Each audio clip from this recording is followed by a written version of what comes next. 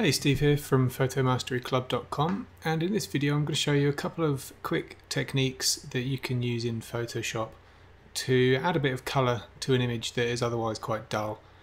So, you know, this works best on like those dull cloudy mornings where there's just not much colour in the sky or evenings. Um, but, you know, there's there really has to be something in the sky for this to kind of uh, look um, you know, if we're going for something that could be deemed realistic, then you know there needs to be a bit of color in, uh, a bit of cloud in the sky.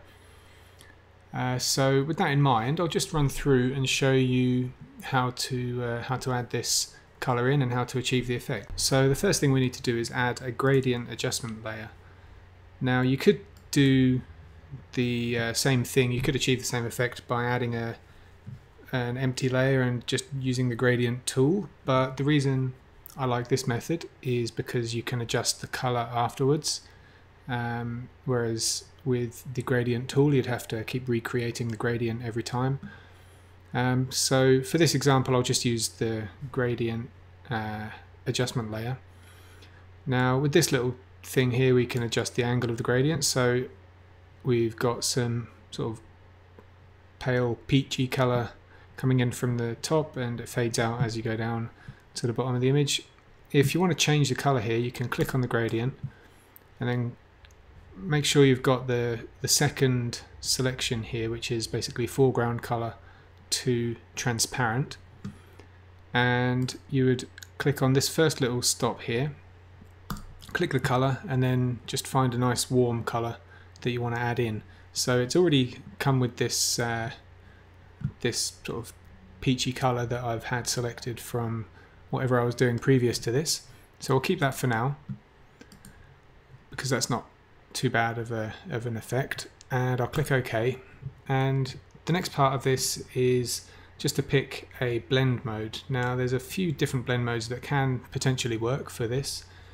Uh, multiply, overlay, soft light and color are the kind of main ones. I'll just run through the multiply, like depending on which one you pick, You'll then want to kind of just reduce the opacity here um, of this layer just to blend it in and make it look less obvious that you've uh, just drawn a gradient in your image. Uh, so with this effect here, with this multiply blend mode applied, an opacity of about 50% kind of backs it off and blends it in quite nicely and gives it a bit of a, uh, a sort of golden um, appearance. So, you know, that could could be realistic. I mean, you never know what happens with the sun in the sky. You know, just creating that light um, across the across the landscape. Uh, so that's that's the first kind of thing that you can test out. You know, the the thing is you'll tend to uh, want to experiment with this. There's no set format that you can definitely use every single time. Um, so multiply is one of those options. Overlay is another. Now overlay and soft light, they'll um, come with the added effect of introducing a bit of contrast. So if I put this back up to 100%, that's not a very good look at all. So if you use this, then you'll want to tone the opacity down even more, um, like so. But experiment, overlay soft light, that's another one. Soft light, you can sort of boost the opacity a bit more compared to um, overlay. And finally, color is another good one to try. And that's again one that you'll want to tone the, uh, the opacity down of this layer. So again, just adding a bit of a warm tone to the image. Now, I'll just show you the, uh, I'll just put the opacity back up to something uh, a bit higher while I show you this next bit. Now this is the other advantage of using the adjustment layer over just drawing a gradient into the uh, into a new layer and doing the same thing. Uh, and that is that you can open this panel back up by double clicking on the uh, adjustment. Click back on the gradient and you can actually change the color that you've selected and instantly see the effect that it has on the image over here. So you know depending on what effect you want to go for.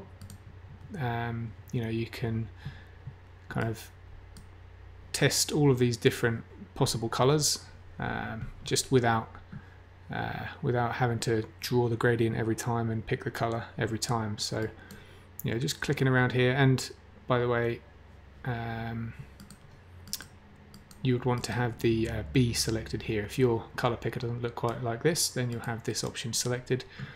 Uh, so we've got a couple of options here. We can go for like a cool blue tone by uh, by introducing that blue gradient, or we can go for a bit more of a sort of pinky, purpley kind of effect, or we can stick back over here with those sort of more slightly more natural um, orangey golden colors.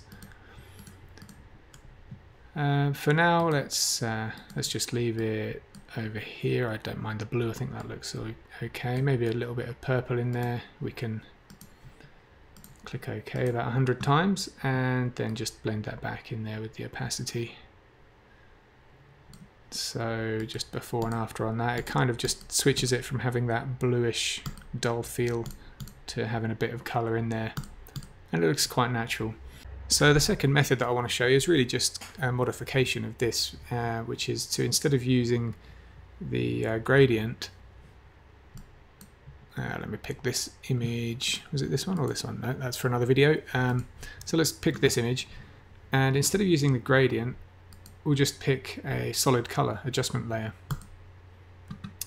And let's just stick with that same orangey color. And instead of being a gradient now, it's uh, just giving us that solid color all the way through the image. And again, we can choose multiply, doesn't look very good until we start reducing the opacity. Multiply, overlay, soft light, and color.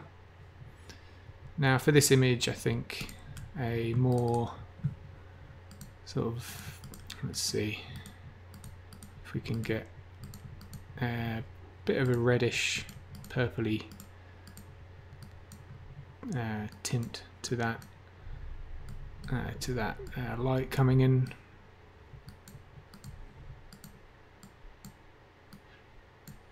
Okay.